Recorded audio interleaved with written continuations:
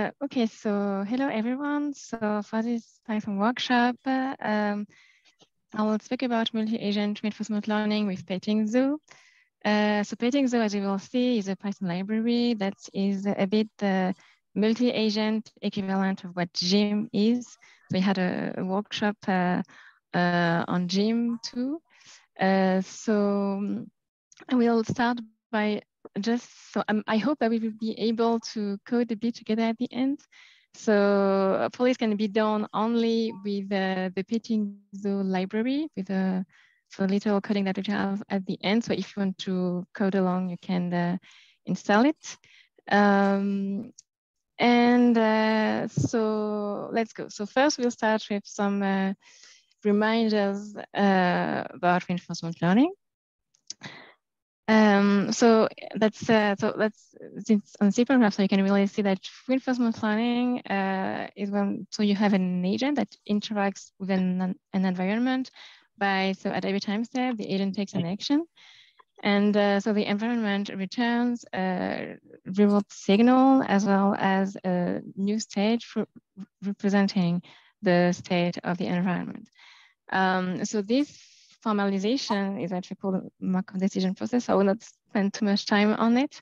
But uh, the idea is that um, so you will we will we can learn a policy which maximizes uh, the um, sum of the discounted rewards um, in order to solve a control task. So that's briefly it. I don't want to spend too much time on it. We already had uh, discussed it a little bit in the previous workshop. So simply uh, told, we want to learn a policy that maximizes um, this uh, expression here. so as expectation uh, of our uh, sum of discounted reward, and we have this discounted uh, value between zero and one.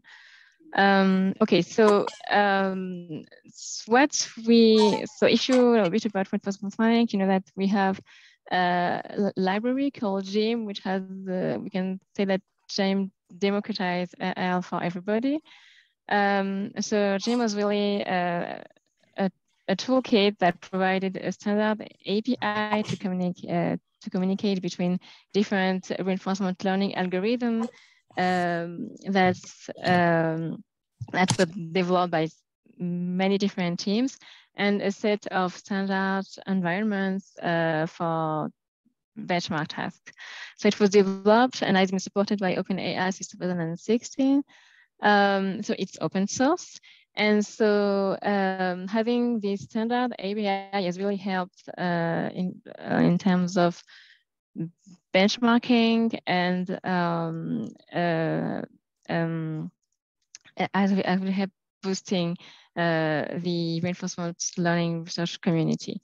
So um, so yeah, so um, we, I mean, we, we did a workshop where we uh, went over this a bit more in detail. So we had this, uh, uh, um, yeah, and I'm going to go on for the standard API, but we had a set of uh, natively supported an, an environment, but all of them um, were for single agent, right? Uh, uh, I don't know if that's for me. Oh no, sorry. Um, so the question is, what about if we have multiple agents? So for example, maybe you can um, uh, think about board games or many communication games or a task of, of cooperative control where you want to uh, learn a, a policy that distributed uh, on, on civil agents. Uh, so this is not natively supported uh, by the Gym API. So that's the first um, issue that Petting Zoo uh, tries to address.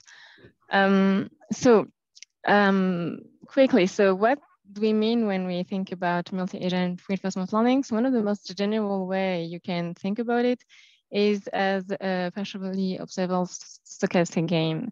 So in, um, so I'm going to call it POAG. So in a POAG, you have uh, an agent, you have a, a set of possible states, um, uh, for every agent, you have a set of possible actions, and then you have a transition function uh, that tells you the probability of going to from one state to another. Um, when you, you take so this uh, global action, which is like the product of all this uh, set of possible actions for all agents. And similarly, you have this reward function uh, for every agent. So uh, it's, Claire, Claire, it's in this, yes? Can you just put your browser in full screen? Uh, sorry. Maybe something like uh, F11. F11 or something like that. Okay, sorry. And uh, yeah, so uh, yeah, so in this general framework where, where you, you have uh, this partially observable, so you do not assume that every agent can observe the global states. So you also have a set of possible observation for every agent and this function, which is uh, stochastic that tells you the probability of observing um, um, an observation uh, when you are in, in, in a given state. Uh, okay, so that's the most um, well that's the most general way to think about it and pretty much um, most games um, can be formalized in in this way and so um, so the idea of having Pettingzoo as a gene-implemented agent L is to provide a similarly standardized API with many supported environments that remains beginner friendly because that was also one of the big advantage of having Gym uh, that it was really intuitive and easy to use. Um, okay, so what do we have now? So obviously Pettingzoo is not the first uh, library to come up with a, a support for multi-agent environments. So what we have now are um, so um, implementation that mostly draw on this uh, formulation.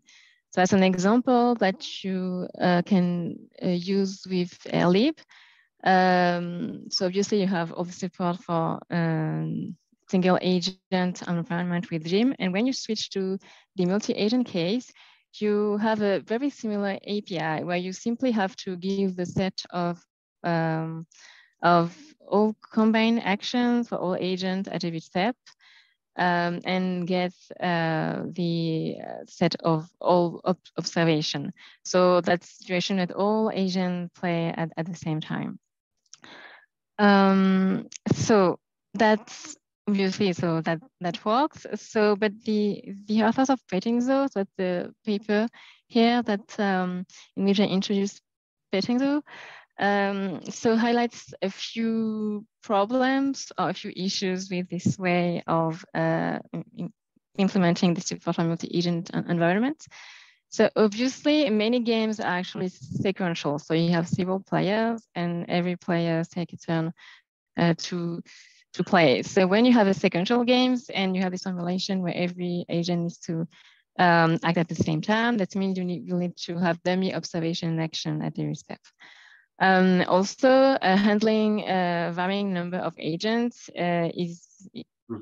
is harder because you have this uh, um, fixed size of uh, well, well, we have this list of agents, and uh, if the, the, the list keeps changing every time safe, it can get awkward. Um, also, that's something that's um, that's so uh, unless you actually implement some kind of validation, um, agents are usually updated sequentially. That's something that I don't know how uh, known it is outside of a multi-agent community, but actually very few um, multi-agent uh, algorithm in reinforcement learning have uh, this parallel inference. Um, usually uh, the agents are all updated sequentially in a, in a for loop. And so the parallelization that you have, so you obviously have um, uh, lots of implementation of parallelization um, structures where actually the, um, so you have evaluation and the level of the environment.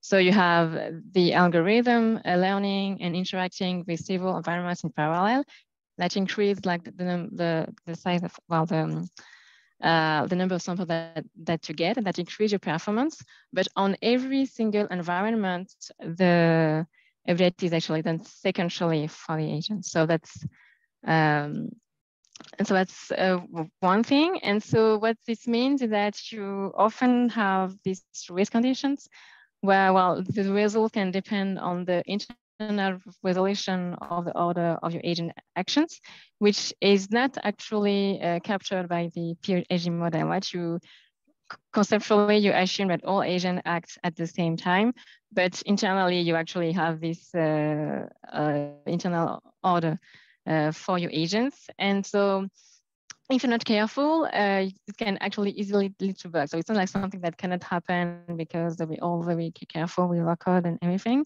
But uh, um, the authors actually make a compelling case by going uh, and by going to look at actual code that was um, published by DeepMind on the on the um, cooperative multi-agent task, and they actually found that there were some race conditions that are simply that uh, that had evaded like uh, the the the authors of the initial papers. Well, obviously, uh, if you have several agents acting at the same time step, you might they might, for example, sign collision, or they there might be a conflict in the interaction in the environment, and um, that was a, that was not handled properly, and this uh, led to uh, wrong results. So the idea is that when you start implementing um, uh, your multi-agent problem, you will have a huge number of race conditions, and you just need to uh, mishandle one for for it to um, to cause issues with your uh, implementation. And uh, finally, uh, one last problem that you don't actually have a decomposition of the rewards. So when you are in a multi-agent environment, you often have rewards from different sources, uh, from scarcity on the, on the environment uh, itself, from the action of the other agents. And uh, well, when you have all the agents living at the same time, you simply get like a sum of all these rewards um, at every step. And uh, so you might want or need to have a bit more granularity in the, the source and the origin of, of the reward, and that of debugging or to design a smarter algorithm. Mm. Um, okay, so uh, so is that clear? I don't know if there is any question. For me, it's clear. okay, perfect.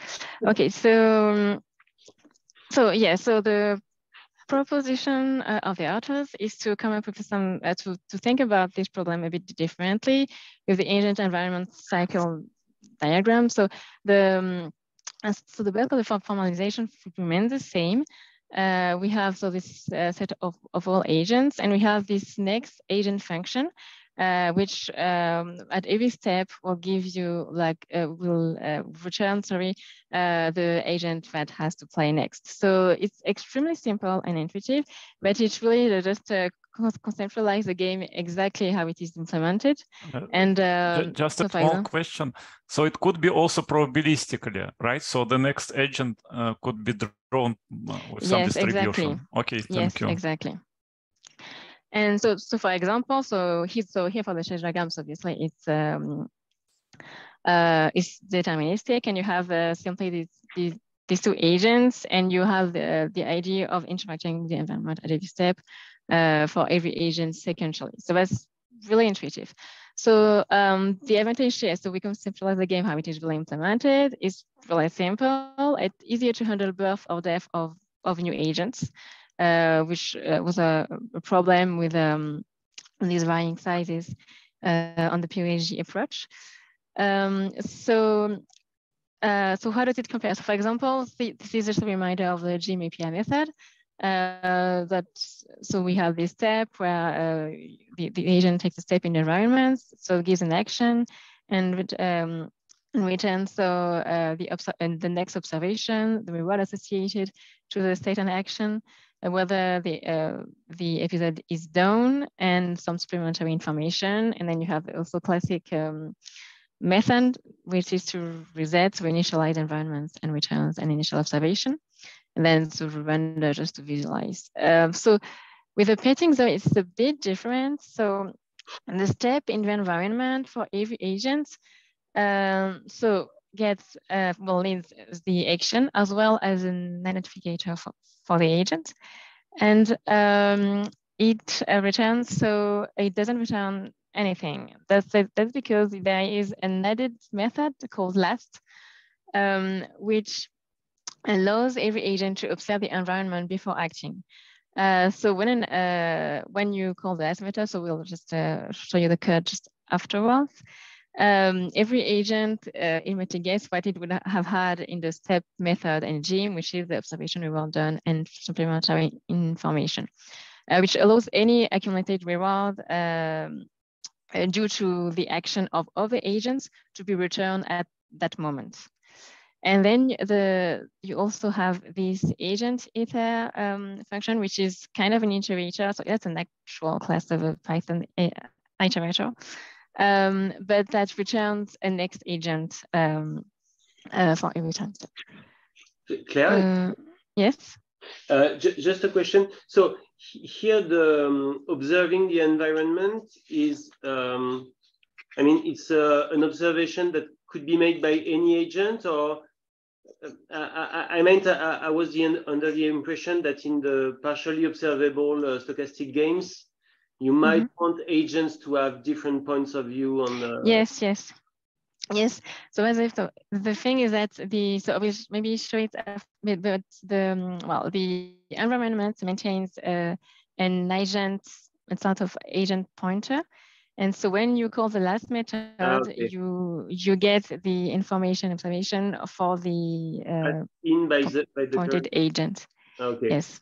Okay thank you um, okay, so yeah, so obviously that has some disadvantage. So it's a bit more verbal, so it's a more more line of, of, of codes compared to the POAG approach. You also obviously more calls to the API because you do one call for agent. Um, so usually that is that it's not um, uh, it's not necessarily problematic unless you have games with a huge number of agents. You start having some performance issues. Uh, you don't have any inference in parallel. So as I said, it's rarely done right now in the in the communities. There are actually very few implementation with a parallel inference, but it's definitely but it's uh, definitely one area of, of that cannot be done with this uh, with this approach. Uh, that being said, so Petting Zoo also handled POAG-like API, so it has both the AEC and the POAG-like API from what I've seen from the code, uh, the POAG-like API seems to be mostly a wrapper around the AEC. So I um, don't think it will actually solve any performance issues. Um, it's mostly useful uh, if you want to have integration with uh, algorithm that expects a POAG-like API. So, right.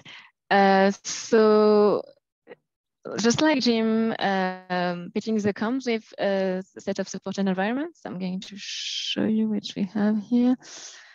Um, okay, so there is uh, some classic Atari environments um, as for any kind of multiplayer games, uh, where you actually get as observation just the image um, uh, of the game. You have some cooperative games, uh, for example, the the piston ball, um, where like all the pistons have to coordinate to advance the ball. Uh, what we're going to look at today mostly are the set of environment called multi-particle environments. Um, well, so you just have uh, different particles, um, so that have interacts either in a cooperative or in a competitive way. So you have, for example, the predator-prey. Um, a type of, of task.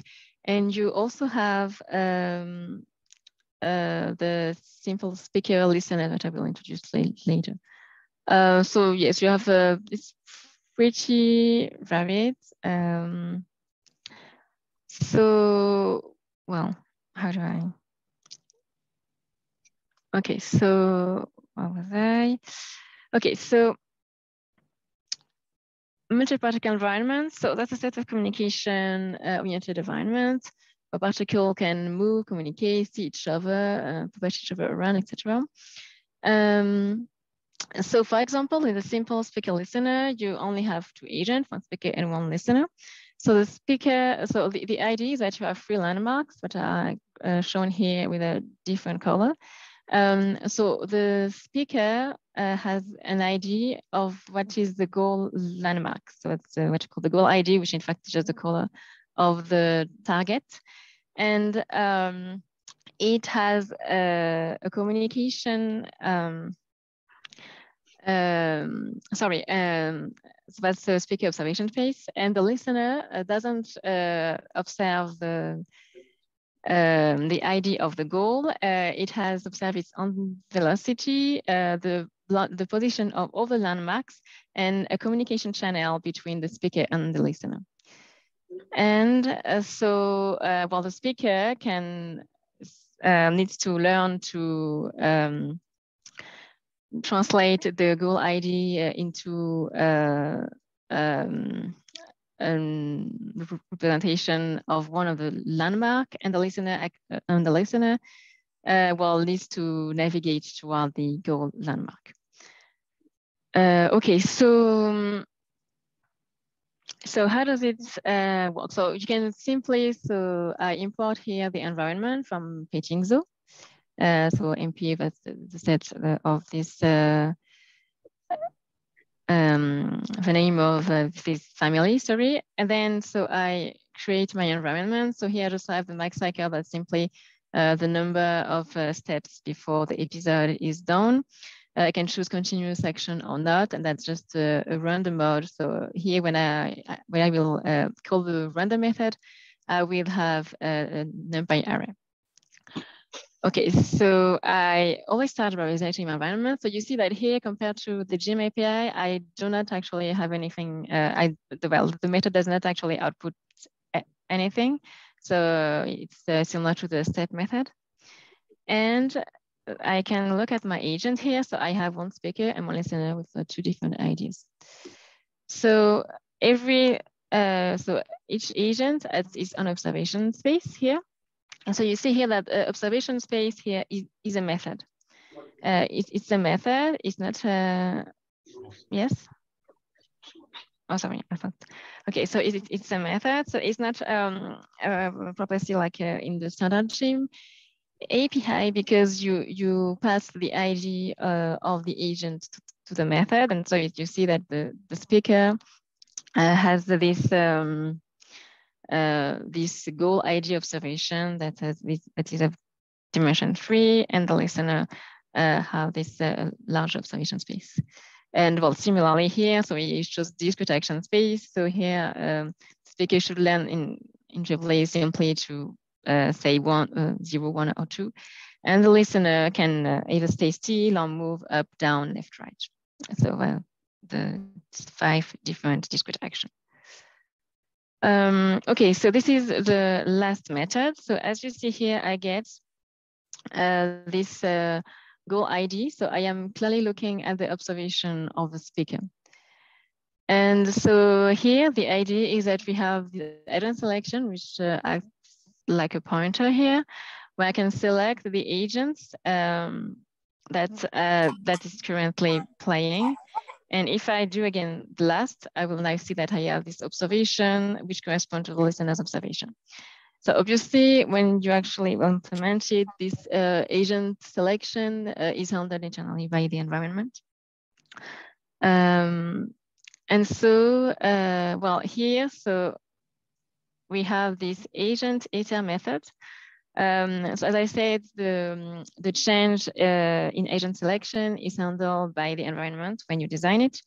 Uh, so it, it happens in the step method. So here, if I simply do a simple, um, a simple loop, uh, well, I have the agent in the agent iter, you'll see that I will switch from speaker to listener, speaker to listener, which is handled here in the um, step method.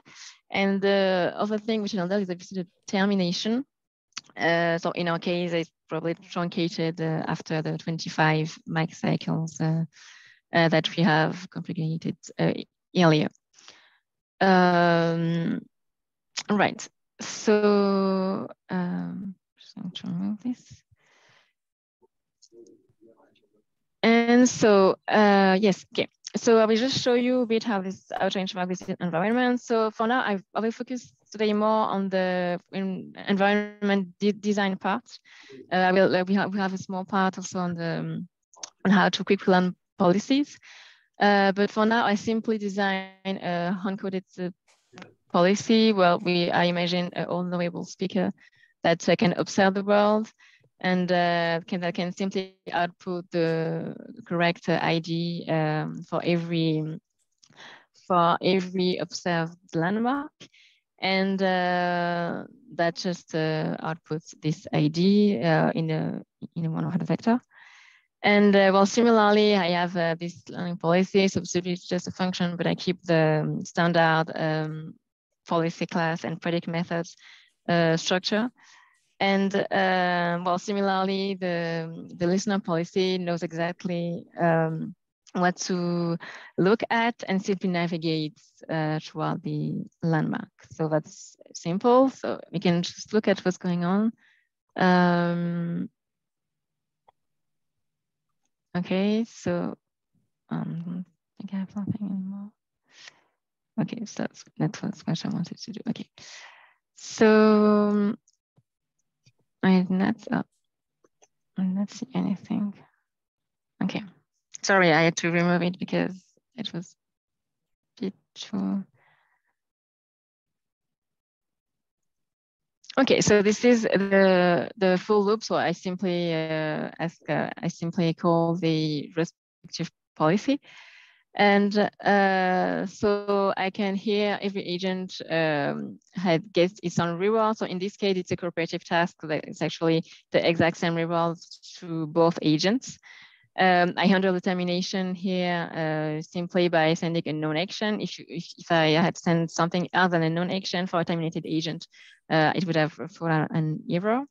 So every time, um, so as, uh, as, we've seen, it's possible to terminate uh, agents at different, well, different agents at different points in the environment. It's also possible to create an agent. Um, so the termination is handled separately, and you see this uh, as when the um, okay so i'm sorry okay so when all when an agent is done it's removed from the set of agents available in the environment so here all agents are done so this is um well this is an empty list um okay so i think that's um that's it for the the basic of how this works um, there's another environment that uh, might be interesting for the rest, which is a simple spread. So it's also a cooperative task, task uh, where you have so three particles and uh, each of them needs to, um, and well, they need to spread it, uh, each other on the free available landmarks. Um, so all so they have symmetric observation. They also see their on the velocity the, the position, the position of the landmark and position of, of the agents. And well, there's a, a communication channel here that's uh, just um, um, just I think a leftover from the uh, environment design because it's using data environment. Um, so that's again similar connection. Um, I will just show you how it works. Okay, so, I know, sorry. Uh, nothing. Okay, we have this. So now we have the all three agents. And so here we have exactly the, the same observation pace for all agents. And similarly, uh, we have the same action. Oh, I keep it continuous. Okay. So, um, okay, so I will just uh, do a little part of what we could do to have sim a simple learning routine. Um, so we, we, had done a, a, workshop where we had used the stable baseline, uh, which is um, a library uh, with, uh, well, um, baseline of implemented uh, standard reinforcement learning algorithm uh, that are easy to uh, easy to to train and um, and evaluate. So it's also possible to use them on um, a multi-agent uh, case, but it's um, well, it's not made of that. So what you can do is do something called shared parameter learning. So on some environments, you can assume that maybe you could learn a same uh, a single policy for all agents. That's obviously uh, that obviously doesn't work for all type of environments.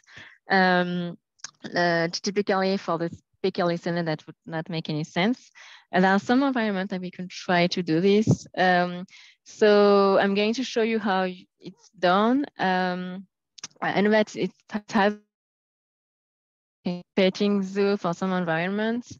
Uh, but I think, yeah, I think you need to be careful about type of uh, um, environment that you can choose for, for this approach.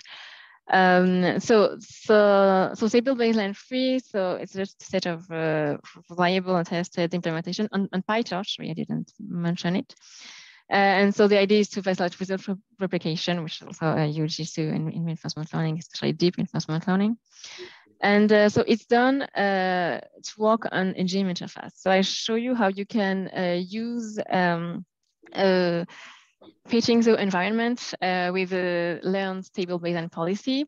So um, the people, uh, well, the people behind Petting Zoo also have created a, a library called SuperSuite, uh, which is just a, a collection of, of, of wrappers. Um, so wrappers um, yes, for all the different environments, when you have a wrapper, it's you just uh, create another environment which you have added function, uh, added method. Uh, so uh, it's especially for observation and without preprocessing, and um, it's easy to integrate into standard ML algorithm like stable baseline. So I'm going to show you quickly how it's done before we go to the coding part fully. Um, Yes, so uh, here you have uh, the parallel environment. So it's a bit different. I know if you remember when we uh, um, instantiated our environment earlier, we only had env. Here we have the parallel environment. That means that we are going to call um, the POSG-like implementation um, of the environment, uh, which uh, well can be then used uh, to to integrate with standard the standard benchmark. So when I do this reset, I actually get a dictionary. So once you have this, you uh, you actually, I think you can, um, well, as a, um, uh, sorry, uh, in the set of uh, observation and action space available in GYM, you also have a vertical dict space. So you might also find uh, some um, benchmark, um, some baseline implementation of reinforcement method on which you can directly use this environment with a, this dictionary-like um, structure. So um, that's, so here you have the same thing here for the action space. Uh, so here again, it's completely cooperative. It's similar for everyone. So could we learn the same policy for all agents? So maybe we could try to do it for cooperative tasks if share observation goal for all agents. Um, so here I, I, I lied a little bit because you can only use SuperSuite to uh, convert your environment into an environment that you can use um, for a, a, typical stable baseline um, benchmark. But uh, so actually there is a bit of problem right now between the version. I, I, think they will fix it soon, but between the different version of GYM used uh, by stable baseline and um, uh, and um, and. So just for the so uh, is now uh, has been all of the people who maintain GYM have decided to uh, maintain it on, on, on, a new fork called Gymnasium. So probably Gymnasium will be the new GYM.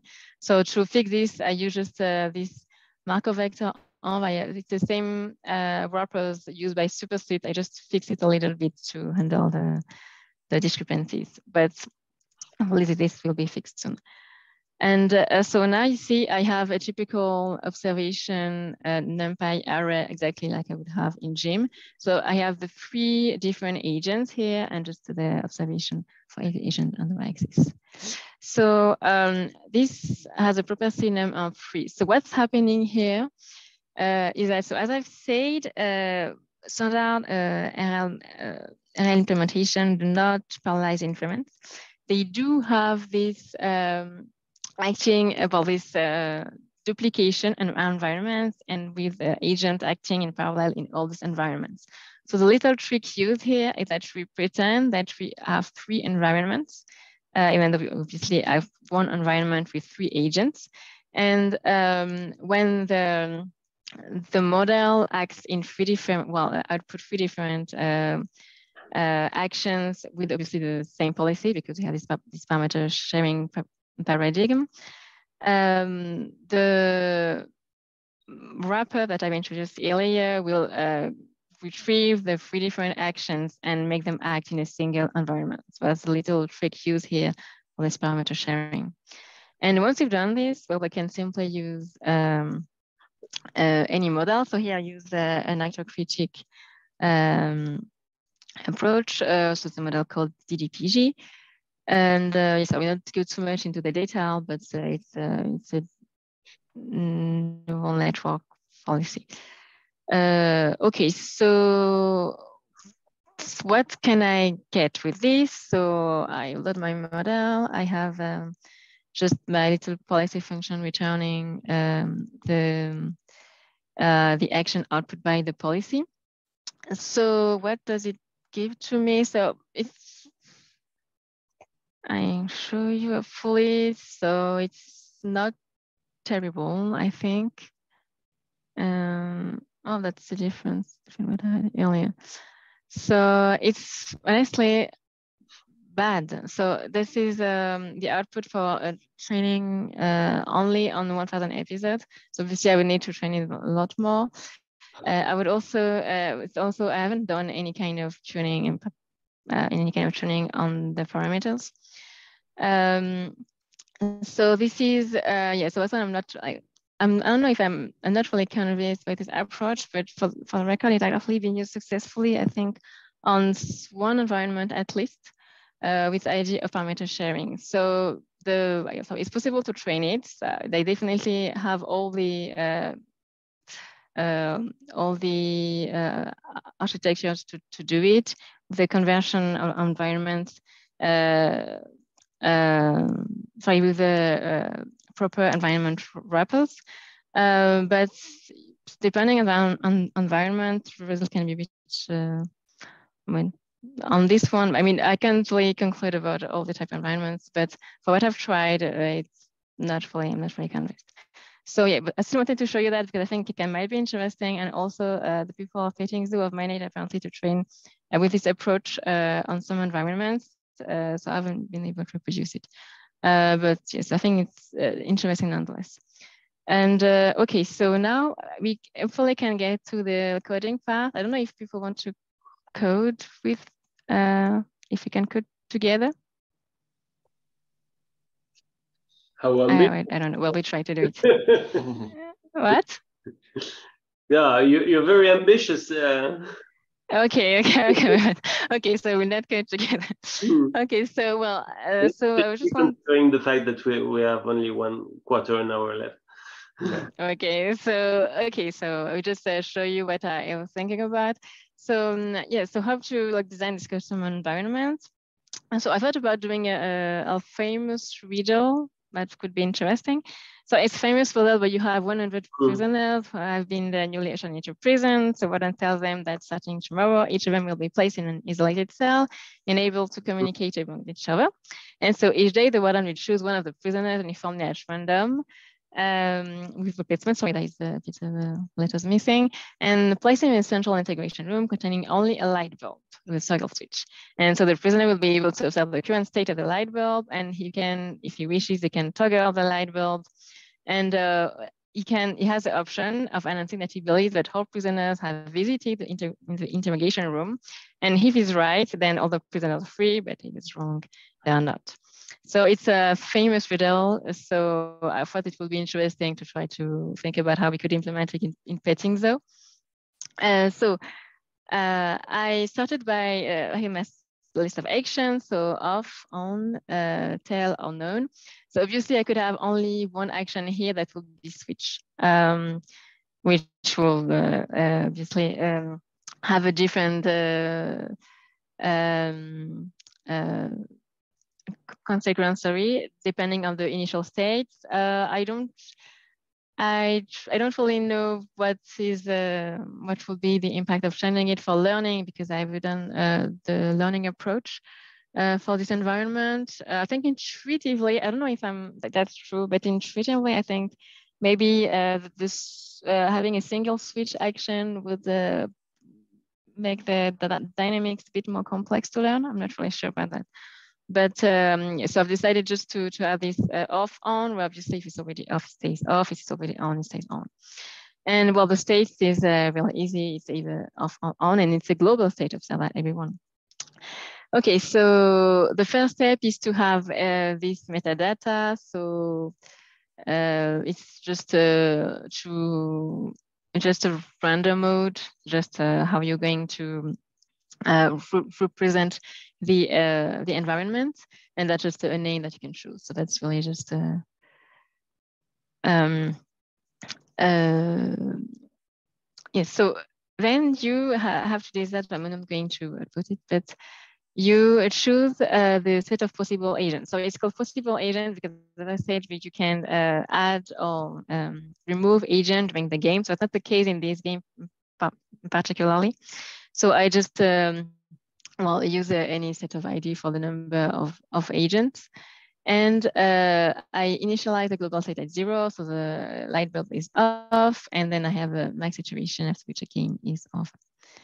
Uh, okay, so we have to choose the right action space. So in our case, I think it's pretty straightforward. We have to use discrete action space um, with a number of actions. And uh, similarly, discrete action space uh, with either a zero or one, whether it's on or off. So, um, so here, because we have this AEC approach, we really model the, the game sequentially. We don't actually have to have an um, a state representing whether an agent is or not in the inter interrogation room, which uh, uh, can be which is necessary for other implementations, uh, because whenever an agent is required to ask, he's already in the inter interrogation room. So we only have this probable state to observe. And uh, so here, uh, yes, so obviously the, um, so as I've said, the observation action phase here method, uh, which uh, gets, uh, which takes um, an, an agent ID and returns uh, so the observation action space retrieved from the global dictionary that I've introduced earlier. And then, um, so this is the observe uh, function for that agent calls when it, uh, it has, it, it, uh, it, calls it plus method, where I just uh, observe the global states. Okay, uh, so that's the reset. So in reset, I simply um, initialize all the dictionary that I will need to, to maintain. And I'm sorry, I'm just going to. And um, I also initialize my agent selector. So I choose randomly uh, in my set of agents. And so the agent selection, so I just um, uh, how the IP is, is thought is actually the ID of the agent. So I just return the ID of the agent here. And I look at all the agents that I visited the, the interrogation room uh, here. So um, when I do the step, so uh, so when uh, an agent uh, takes a step in the environment, so I add it in the list of the agents. So it's very simple, just the, the simplest way to to do it. And then I simply um, I simply switch in on on off uh, if that's if the agent has selected one of two, two options. Or if the agent tell, I simply check if uh, he's right, if all the uh, agent that have, if all the agents have visited here, and I return one or minus one, and then it's over. So the game really ends uh, as soon as an agent tries to tell. Uh, okay, and then so I just have other data number of, uh, of my moves. Uh, I allow for truncation uh, because obviously the game is uh, forever. And um, I'm pretty much done. Here, I just need to prepare the next selection. So yes, that's what we were speaking about earlier. We can absolutely have a, a, a random uh, selection of the next agent. And then that's exactly what, what we need. So we have again this uh, random here um, uh, choice. And uh, when I'm done, so that is this, uh, so for the render, I some, do something extremely simple. I just print, uh, I don't know, I just print um, the well the the agent that is currently in the interrogation room in the state of a light bulb, not doing any kind of uh, image. Uh, okay, so I have, I have coded this environment in my uh, in my in my Python uh, So it's my custom env. I have a simple uh, counter policy. So obviously the famous um, most intuitive policy where you have one agent acting as a counter. And um, well, that turns the, the light off. And the other agent that only turn the light on uh, if I have never been in the room. So that's a, a, simpler way to count the number of people that have visited the, um, the interrogation room. And uh, then I, I tried with simply 10 agents. And so uh, here I can uh, survive my optimal policy that I have designed. And I'm okay. Oh, so you just have to. And so obviously, so depending, uh, well, with the stochasticity of the next agent function, uh, I can have different um, uh, number of steps to get it done. And so obviously every time I, any of uh, my agent tells, it always gets to reward one because that's the optimal policy. So that's uh, how to code. It's a simple, it's a really simple uh, example. We don't have a depth of agents, uh, but I think it's already interesting because we, we have this, um, uh, this random selection of the next agent. We also don't have to indicate actually uh, um, um a bit for the um, uh, for the presence absence of the agent in the inter interrogation room because with, with this sequential approach, uh, agents only act when they are in the interrogation room. Um, okay, so okay, uh, so okay, so well, that's actually it. Uh, so uh, I was hoping to like that by reducing a bit the size, we would be able to cut together, but I think I need to give up on this altogether. And uh, so if you have any question, uh, please uh, go, go it. Okay, so oh. I think that we can uh, thank, uh, thank Claire a lot.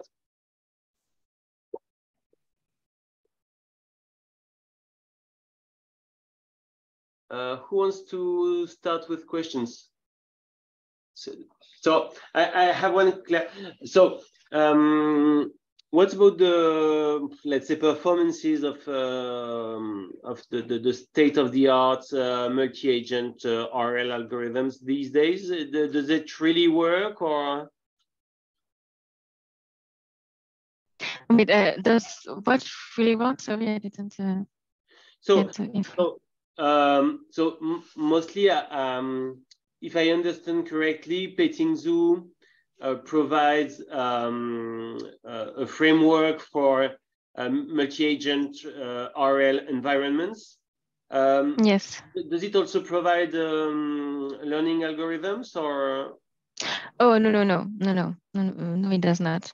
Okay. No, it's it's really about the designing of uh, of of environments, uh, then to be used uh, for benchmarking policies, learn with other um, with any algorithm. Uh, the, those what we've tried on the, on the environment, they have tried to learn this uh, shared uh, this shared parameter policy that I've shown um, with uh, so that can be in principle combined with any any algorithm as well as any implementation of it uh, with this uh, parallel environment wrapper, but they do not uh, design any algorithm.